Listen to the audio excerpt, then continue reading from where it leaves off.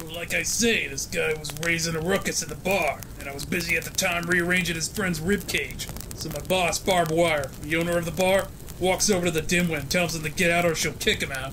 Now, Barb's this little blonde number, so the guy makes the fatal mistake of laughing at her.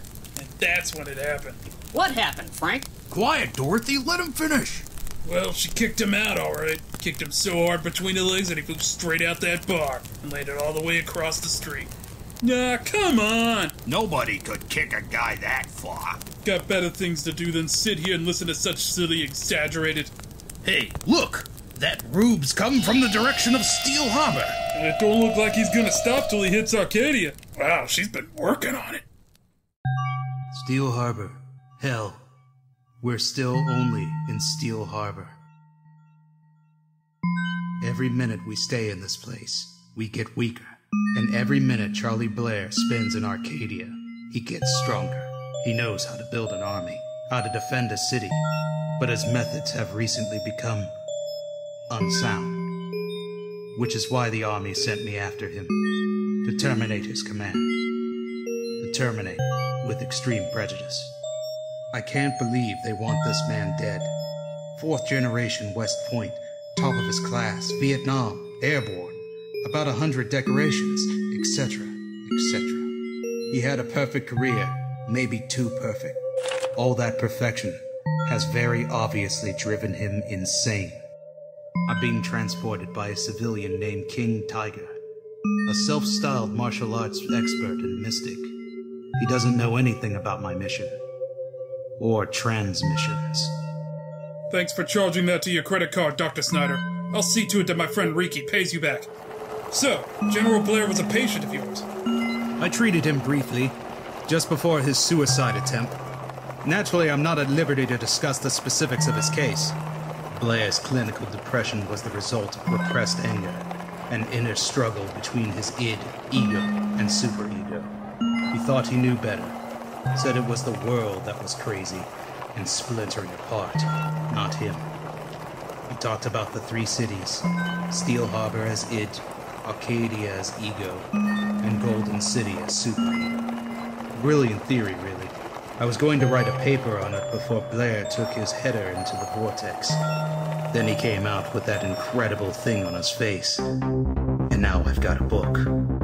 But first, I must go to the most dangerous place in the world.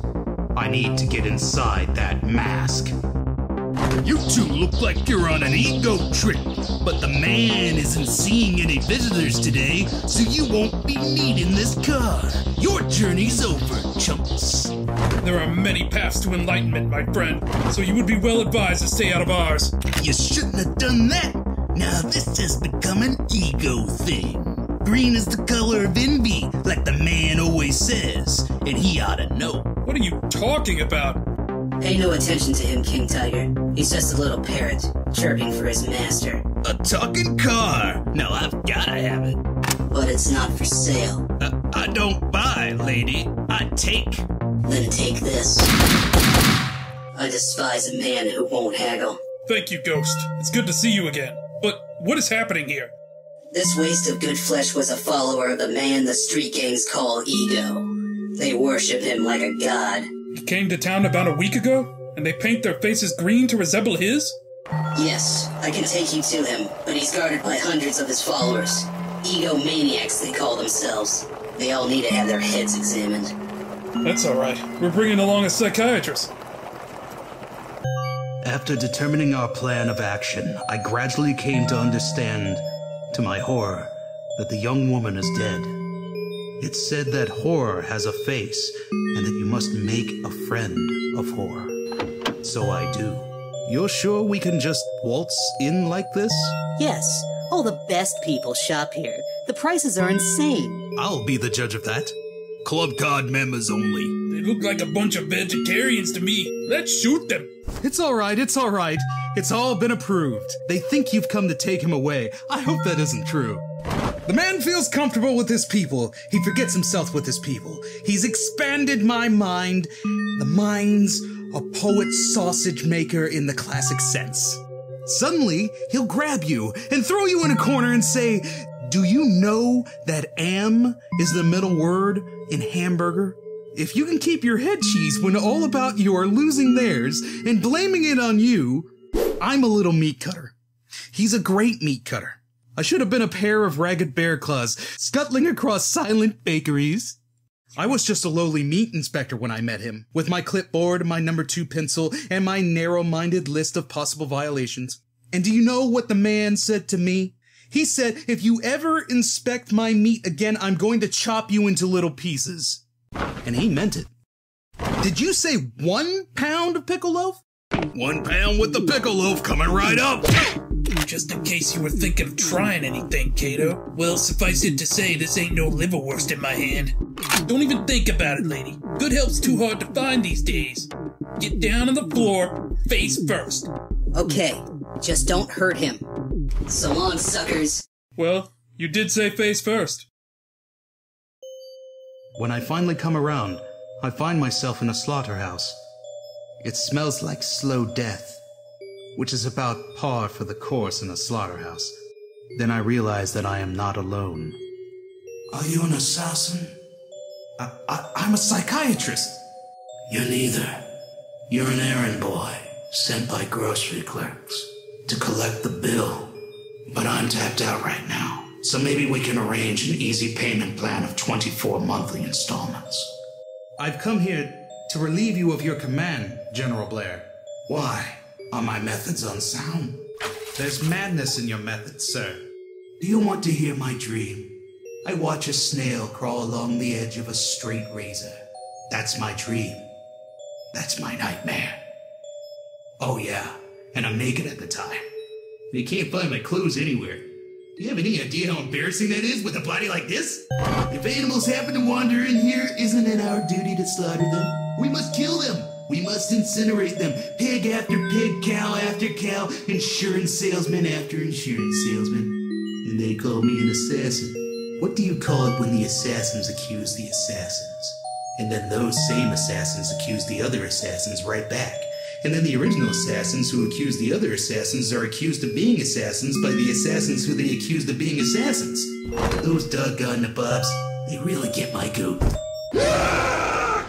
The man really likes you. He doesn't share his pet goat with just anyone. He's got something in mind for you. The man is clear in his mind, but his soul is pea soup. He's dying. He reads John Denver lyrics out loud. I mean, what are they gonna say about him when he's gone? That he was a kind man? A wise man? The living in? The cat's pajamas? Bull! They're gonna say that he threw the luau to end all luau's. Cowabunga. Boo. Is everything alright, X? I noticed that your costume is slightly bloodier than usual. Stay out of my way, Ghost. I've come to kill Ego. Oh, that's right. Me and X, protector of Waterfront. And all that rot. How boring. You've forgotten what it's like to be alive, Ghost. To fight for something you really care about.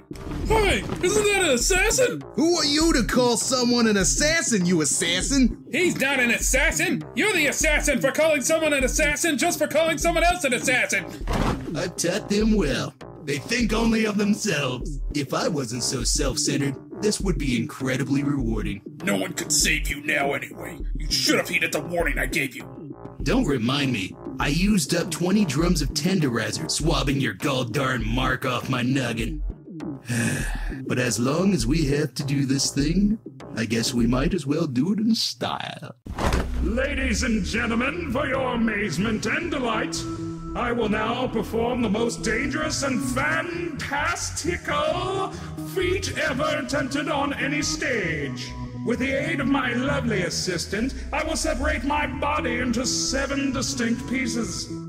And then, just when you think you have been dazzled beyond all human reckoning, I will reconstitute myself before your very eyes. Don't count on it, freak.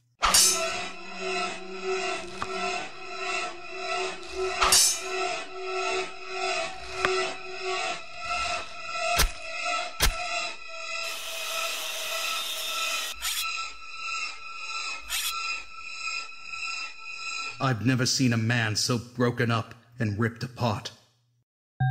Even the army wanted him dead, and that's who he always took his orders from anyway. Wh- where am I? What's happened to me? Dr. Snyder, who tied you up? It's me, General Blair. Don't you recognize me? He can't see you. You're a ghost, just like me. What? You mean I'm invisible and immaterial? Like in a cartoon? Disconcerting, ain't it? But you'll get used to it in a century or two. Oh, I'm starting to remember now. I did this to myself. I threw my life away. Yeah, well, at least you weren't murdered. But don't let me interrupt your little self pity party. You men kill me, in more ways than one. Murdered? I'm sorry, I didn't mean to be so rude. But please tell me, is this what it's like to be dead? So cold and empty? How do you stand it? Where do you sleep in a crypt. Do you have any other questions? So much anger. That's why you're still here, isn't it? Why we're both still here, poor things. Poor things. Wait! Ta-da! And now, for my grand finale, so to speak. I shall use this ordinary microphone to make myself, this building, and everyone in it disappear completely, and for all time. You see, I have just realized, thanks to a tiny voice inside my head, that I am a terrible menace to mankind. And as such, the only person who has any chance of stopping me is me, and I must be stopped. So, Based Eagle, Based Eagle, commence fire strike. Target 019er. Repeat, commence fire strike. Target 019er. Oh my god! That's an active military alert code! Within minutes, this entire place will be reduced to ashes! Oh, nothing could be finer than to napalm 019er in the morning. Hold still. I'll cut you loose, King Tiger. Don't worry, Dr. Snyder. I'll get you out of here. Hurry! I can hear the helicopters in the distance already! Nothing could be sweeter than to sizzle like fajitas in the morning. Man! I've gotta get this cold cut platter into the luau before all hell breaks! No, not the sewer! What's that? Music? It's Arcadian rhythms. Really scares the bejesus out of the natives. Did you hear about what happened in Arcadia last week? Yeah, just like Steel Harbor the week before. If that green faced turd came to Golden City, he wouldn't last a day. That's for sure. Grace would kick his butt so fast he'd be begging for mercy. Greetings, tiny mortals. With my telescopic hearing, I overheard your derogatory comments about my person. But rest assured that I have long since transcended the human plane and now possess the power to rise above such picayune provocation. My name is unpronounceable to your fleshy tongues, but you may address me henceforth as the hero formerly known as Super Ego. So take me to this Grace wuss, so I can wipe the floor with her. Oh,